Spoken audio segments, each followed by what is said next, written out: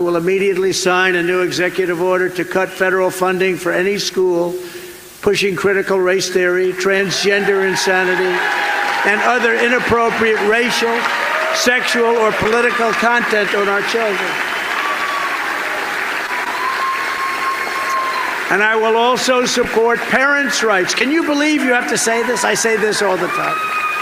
Can you believe that you have to say that we will support parents' rights? Parents' rights, who wouldn't support? But our country over the last 12, 13, 14 years has gone cuckoo. It got a little bit cuckoo. Can you imagine you're saying, I will support parents' rights? Of course you're going to support, but who wouldn't support parents' rights? A lot of the people in our leadership wouldn't support it. But we're going to include the direct election of school principals by the parents. We want the principals not to be hired because they're radical left lunatics. If any principal is not getting the job done, the parents should be able to vote to fire them and to select somebody who will get the job done.